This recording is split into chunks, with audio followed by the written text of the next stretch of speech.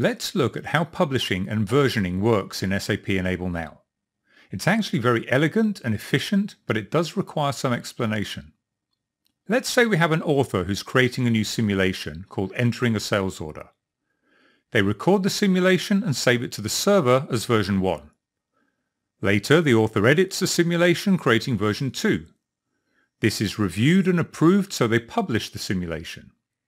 As soon as the simulation is published, it's visible to learners. However, what's important to note here is that the author is actually publishing the latest version, version 2 of the simulation. The version is flagged as published and not the overall simulation project. Why this is important is that the author can now go back to the simulation Producer, start editing it again, make some changes, save it to the server as version 3, make more changes, save it as version 4, 5, 6 and so on, but the learner won't see any of these changes even though the author's changing the same single object in the work area. This is because learners will only ever see the published version. It doesn't matter how many versions the author creates or how long the simulation's being reworked for, days, months or even years, none of this will have any impact whatsoever on what's visible to the learner. Now let's assume that all of the author's edits, all of the way up to version 8, are finally approved and they republish the simulation.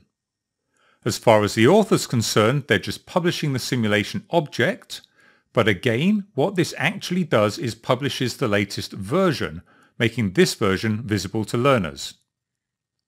Note that now only version 8 is visible to the learner, as this is the only version that has the publish tag set. This is an important point. Only one version of a content object at a time can have the publish tag set. There's one additional consideration here related to this. If it turns out that the author jumped the gun on releasing their changes and publishing version 8, say those changes were to support a system change that was supposed to go in at the same time but didn't, or was backed out, the author can go and make version 2 the published version again by flagging this version as published in Manager. Once they do this, the learner will only see version 2 again. But most importantly, none of the author's other changes are lost. Versions 3 to 8 still exist in the work area and haven't really been backed out. All that's changed is which version the learner can see. In fact, the author could set any of the eight versions to published, even if that version had never previously been published. So if they decide that version 5 is actually good and they want learners to see that, they can go into Manager and set version 5 to published. And when the system changes that were previously cancelled finally do go in, the author can republish the simulation object again and the latest version, version 8, will be the one that's visible to learners again. So that's how publishing works and how versions play into this. The key points are 1. When an author publishes a content object, they're really publishing the latest version of that object. 2.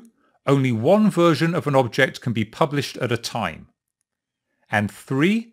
Learners will only ever see the published version of a content object.